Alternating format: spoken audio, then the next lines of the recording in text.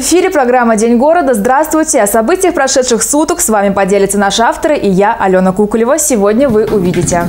Полигон 21 века. Российский спецназ получил современный комплекс для отработки боевых навыков. Где отдыхают рязанцы? Жители областного центра отказываются от зарубежных поездок. В Рязани открылся современный комплекс для подготовки и обучения спецназа. Он возводился более двух лет и теперь станет одной из самых эффективных площадок страны для отработки всех возможных ситуаций, с которыми сталкиваются силовики в своей работе. На торжественном открытии присутствовал первый замминистра внутренних дел Виктор Золотов и наш корреспондент Марина Комиссарова. Мероприятия по совершенствованию деятельности подразделений специального назначения реализуются в Министерстве внутренних дел целенаправленно. Только в течение последних трех лет в эксплуатацию введено 16 новых объектов, одним из которых стал современный многофункциональный учебно-тренировочный комплекс для подготовки и обучения ведомственного спецназа МВД России по Рязанской области. На строительство комплекса понадобилось два с половиной года, и теперь он позволит существенно расширить функциональные возможности для подготовки спецподразделений, дислоцированных в Центральном федеральном округе. Чтобы ознакомиться с расположением, оборудованием и возможностями созданной учебно-тренировочной базы, сегодня в Рязань прибыл генерал армии Виктор Золотов. Ни для кого не секрет, что бойцы ОМОНов, СОБРов при выполнении ими служебных боевых задач их служба сопряжена с риском для жизни и здоровья. И поэтому им необходимо совершенствовать, перешлифовать, повышать свое служебное профессиональное мастерство. Для этого построена эта база. Хочу сказать, что в 1994 году, с момента своего создания практически, 93 года, 1994 года бойцы подразделений в составе сводных отрядов СОБРа и ОМОНа Рязани принимали активное участие в штурме Грозного. В 1995 году освобождали больницу заложников больницы города Буденновска. В 1996 году принимали участие в освобождении сводного отряда, который попал в засаду в городе Грозный на площади минут. И все дальнейшие их действия сопряжены большим риском. И хочу пожелать бойцам при выполнении служебных боевых задач, чтобы они возвращались домой, действительно живыми и здоровыми к своим семьям. Пожелать им удачи и всего самого доброго. На территории базы, которая занимает площадь более 8 гектаров, расположены объекты, позволяющие круглогодично проходить обучение и тренировку, при этом отрабатывая любые ситуации, с которыми спецназовцы сталкиваются в своей профессиональной деятельности. Для нас это действительно масштабные события. А, ведь успешное выполнение поставленных перед нами задач оно напрямую зависит от качества а, наших тренировок, от качества нашей подготовки и, соответственно, от места, где мы сможем тренироваться. А, как раз большим плюсом данного полигона является, во-первых, теперь он наш, мы в любое время можем им воспользоваться. Во-вторых, все условия, необходимые нам как для индивидуальной подготовки, каждого сотрудника, так и для подготовки подразделения в целом, они здесь созданы. Ну, сегодня вы уже видели, как э, работают подразделения.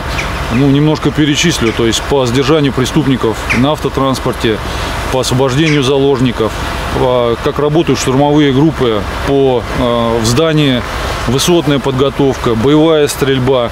Я хочу сказать о том, э, все то, с чем мы можем столкнуться в реальной жизни, у нас теперь есть возможность ну, здесь отработать. Бойцы и сотрудники спецподразделений УМВД России по Рязанской области и других специальных отрядов правоохранительных органов региона провели демонстрацию действий по обучению на объектах полигона.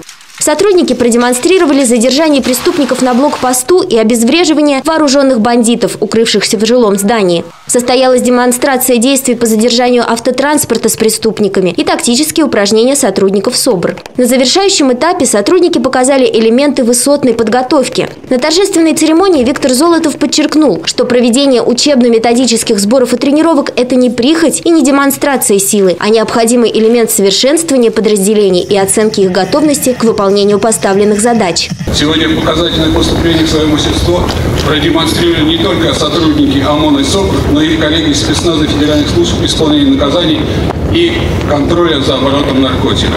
Считаю, что сотрудники, принимавшие участие в показательных выступлениях, действовали слаженно и на высоком профессиональном уровне. Замминистра вручил награды сотрудникам спецподразделений. Главный федеральный инспектор Владимир Сарафанов поощрил работников строительно-подрядной организации, благодаря которой был возведен этот комплекс. А начальник МВД России по Рязанской области Николай Пелюгин поблагодарил руководство МВД Российской Федерации за поддержку инициативы строительства и помощь в реализации. Мне, конечно, хотелось поблагодарить наше руководство. База прекрасная, хотел бы заверить генерал армии Золотова, что все спецподразделения управления внутренних дел в Рязанской области оправдают оказанное доверие. Все поставленные перед нами служебно-боевые задачи будут выполнены. Спасибо большое. По итогам посещения учебно-тренировочной базы генерал армии Виктор Золотов провел рабочую встречу с командным составом спецподразделений МВД по Рязанской области, где обсудили актуальные вопросы развития ведомственного спецназа. В 2015 году в регионе за нарушение правил дорожного движения автоинспекция вынесла более 500 тысяч административных постановлений. А с 1 января вступили в силу изменения в законодательство, которые стимулируют добровольную уплату штрафов. О них подробнее Оксана Тебенихина.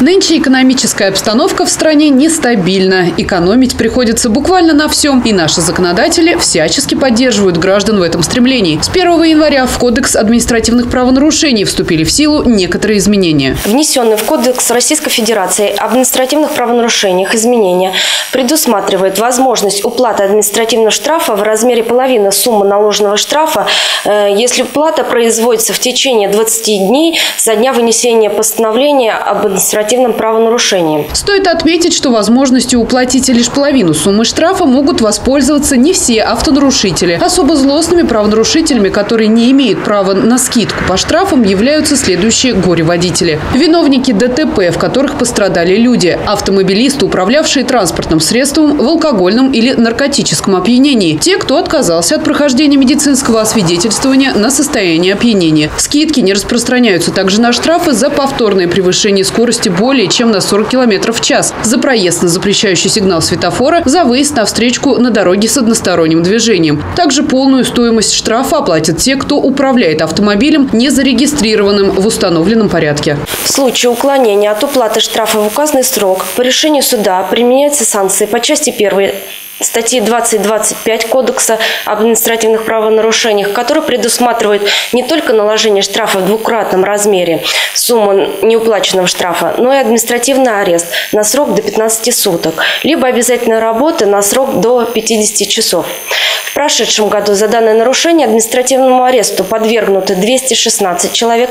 В 1904 случаях назначено наказание в виде административного штрафа в двукратном размере. Стоит напомнить, что административный штраф подлежит уплате в течение 60 дней со дня вступления постановления в законную силу. Информацию об имеющихся штрафах и способах их оплаты можно узнать на едином портале госуслуги. Госавтоинспекция настоятельно рекомендует вовремя исполнять установленную законом обязанность по уплате административных штрафов.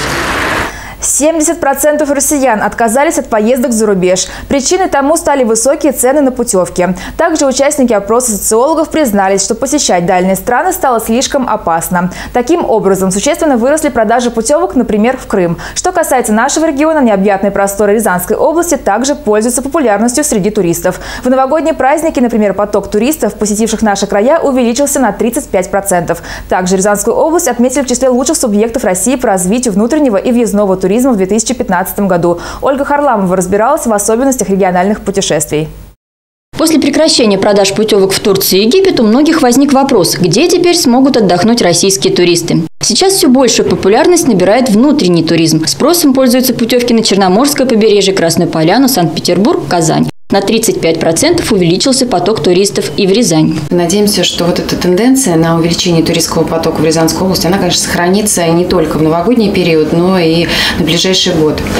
А, наиболее, скажем так, востребованными направлениями в этот новогодний сезон у нас стало рекреационное направление.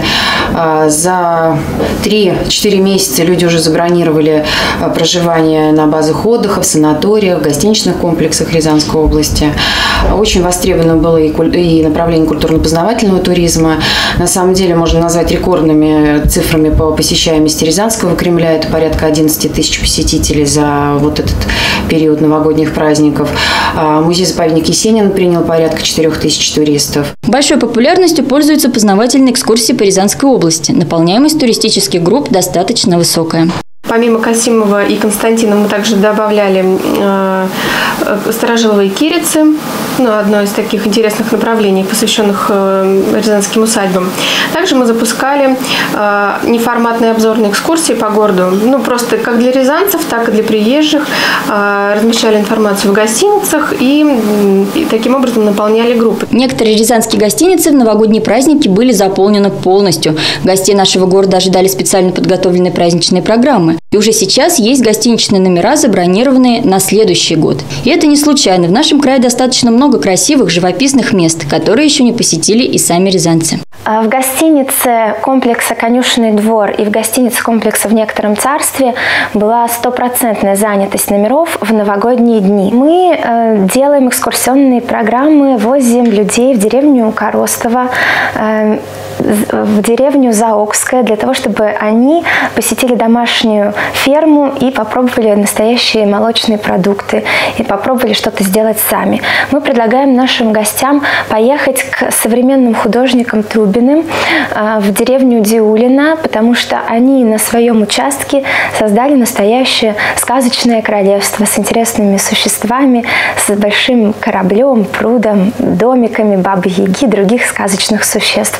Это то, что нельзя увидеть в обычной жизни, но это то, а, что каждый человек хочет испытать. К нам очень часто приезжают гости из Москвы, Московской области и близлежащих городов Ярославля, Тамбова, Тулы, Владимира. В нашем комплексе всегда останавливаются иностранцы. Больше всего, наверное, гостей из Германии, из Китая, из Франции, хотя за прошедший год нас посетили граждане США, Турции, Швейцарии, Люксембурга. Так что отдыхать можно не только за границей, но и в России. Правда, путешественники могут столкнуться и с тем, что стоимость рублевого отдыха может быть не намного дешевле иностранного. Цены как на перевозку внутри России, так и на проживание в отечественных местах размещения пока соответствуют зарубежным. Гостиницы и хостелы соотносят свои цены не только с инфляцией, но и с ростом спроса. Поэтому те, кому не досталось места на раскрученных отечественных курортах, поедут либо в менее популярные регионы, либо все-таки будут искать впечатления за границей. По данным туроператоров, уже сейчас вырос спрос на туры в Таиланд, Индию и Вьетнам. Но все же многие предпочитают путешествовать по России, ведь наши края не хуже зарубежных. Нынешняя зима не перестает удивлять жителей нашего города. Удивительное разнообразие преподнесла нам природа в этом году. Необычное тепло в начале, лютый холод на Новый год, поражающее воображение экстремальные сугробы за окном сейчас. Снег перестал идти, но ненадолго. Уже завтра синоптики обещают возвращение осадков. Зимы хотели, зиму получили. Правда, почему-то остались недовольны. Настоящая русская все же слегка переборщила. Южные циклоны буквально атаковали наш регион, существенно увеличив снежные сугробы, но зато уберегли от сильных морозов. В четверг осадки покинули наш регион, а солнце вышло из-за облаков совсем как у Пушкина. Но по прогнозам синоптиков такая благодать продлится недолго. Уже ночью 22 января объявится очередной южный циклон, который вновь вернет снег, метели и порывистый ветер. Гололедица на дорогах дорогах и снежные заносы по-прежнему останутся неотъемлемыми атрибутами. Ночью ожидается 16-18 градусов мороза, днем в пятницу минус 8, минус 10. В выходные погодная ситуация сильно не изменится. 23 января ожидается облачная погода, продолжится снег местами сильный, местами метель, усиление ветра. На дорогах снежные заносы гололедица. Температура воздуха ночью минус 14, минус 16 градусов в Рязани, минус 12, минус 17 по области. Днем минус 10, минус 12 в Рязани, минус 7, минус 12 по области. 24 января в тыловой части циклона ожидается переменная облачность, местами пройдет небольшой снег. На дорогах гололедица. Температура воздуха ночью минус 19, минус 21 в городе, до минус 25 по области. Днем минус 14, минус 16 в городе, минус 12, минус 17 по области. А вот уже с начала новой рабочей недели вновь можно будет цитировать Пушкина. Мороз и, возможно, солнце снова возьмутся за дело. Ночью температура опустится до минус 19, минус 24. Днем ожидается не выше 12-17 градусов со знаком минус. Хорошо. Объятия – это не только приятно. Оказывается, люди, которые обнимают друг друга, повышают иммунитет, стимулируют нервную систему и даже повышают в крови уровень гемоглобина. Ну и, конечно, это поднимает настроение. Наталья Новикова далее о Всемирном дне объятий. Объятия полезны для здоровья, не устают повторять ученые. Настолько полезны, что 30 лет назад в США 21 января было объявлено национальным днем объятий, а затем торжественно распространилось по всему миру. Суть праздника заключается в следующем. В этот день заключить в крепкие объятия можно не только родных и близких, но и всех понравившихся незнакомцев.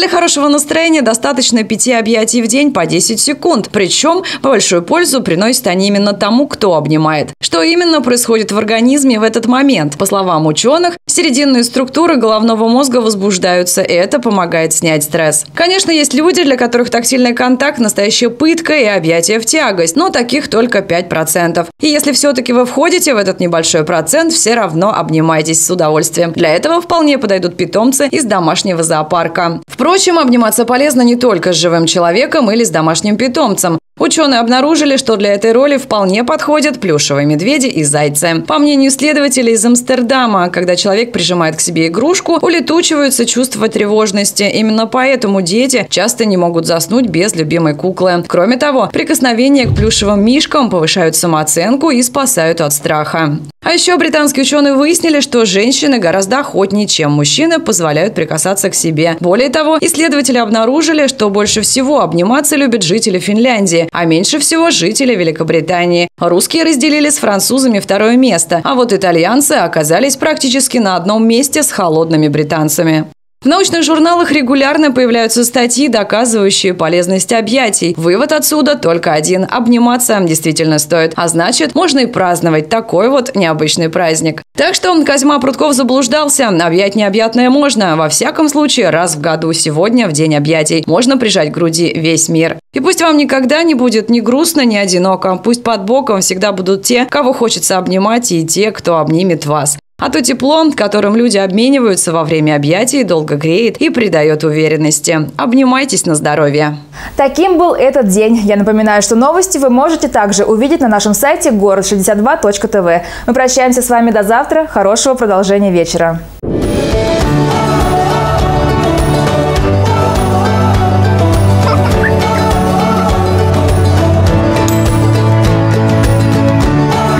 Комплекс «Вива». Как в городе, только лучше.